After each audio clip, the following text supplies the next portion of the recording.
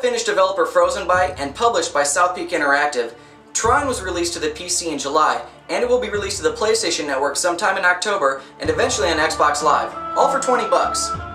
Trine puts you in control of three heroes with different abilities in one of the most beautiful games I've ever seen. I actually had to stop playing many times just to stand there and look at the wonderfully detailed and dazzling environments. If for nothing else, you should check this game out just for the stunning visuals.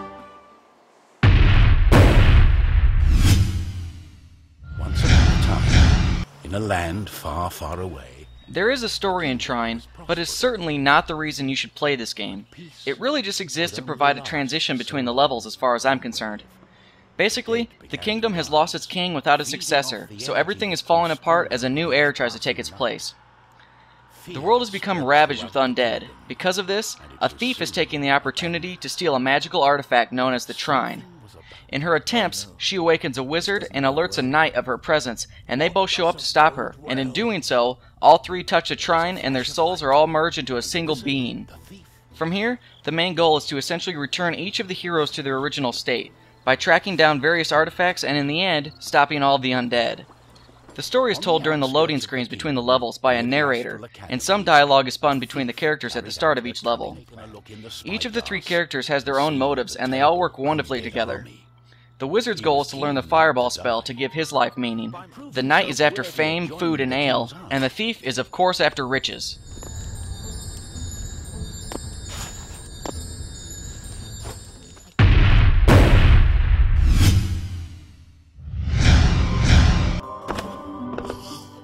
From start to end, Trine took me about 8 hours to complete.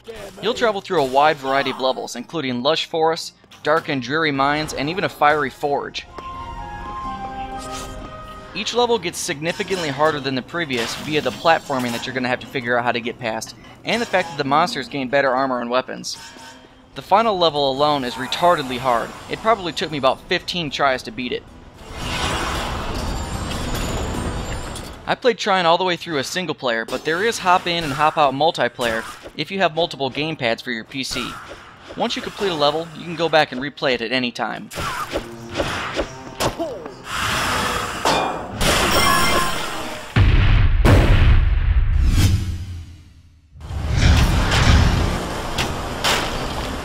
Trine is of course a 2D side-scrolling platformer and it's a blast to play.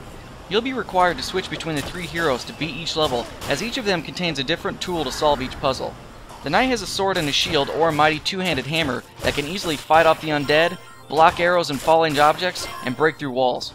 The thief in my eyes was the most useful, as she can use a grappling hook to swing across and climb obstacles, as well as use her bow to take out ranged foes.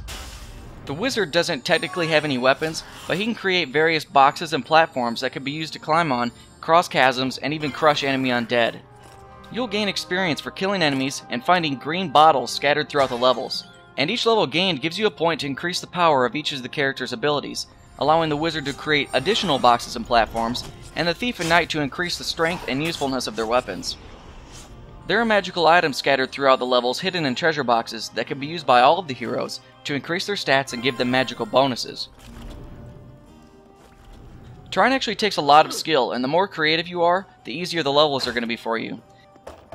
If you take a look at the trailer over at trinethegame.com, you'll see that the players in that video are significantly more skilled than me.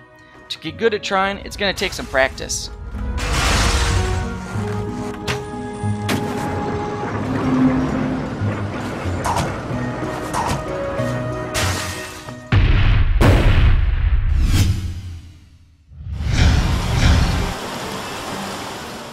The presentation is by far the most impressive aspect of Trine. Each level is just stunning. This game easily has some of the best graphics I've ever seen. Hell, these are probably the best graphics I've seen in a game all year. Along the same lines, the soundtrack is superb. It is fully orchestrated and really completes the whole gaming experience.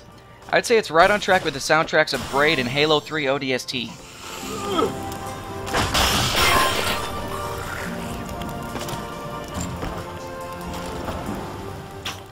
The voice acting of every single character, especially that of the narrator, is amazing. He had been studying the stars and trying hard to learn the elusive fireball spell that all wizards ought to know. You'll probably need a pretty beefy computer if you want to run Trine in all of its glory. I was only running it in 720p without any anti-aliasing turned on, and it still looked awesome, so I can only imagine how great it would look with all the options turned up.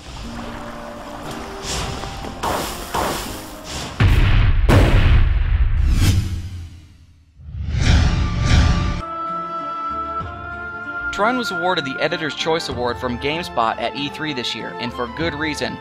The graphics are beautiful, the sound is amazingly immersive, and the platforming action is creative, challenging, and entertaining. I know that side scrolling platformers are not for everyone, but I seriously think that Trine is a title that every gamer should at least try out. This game is perfect, not a single flaw, 100%. You need to check out Trine. Thanks for watching. Don't forget to subscribe to my channel and register at ZeitgeistGameReview.com.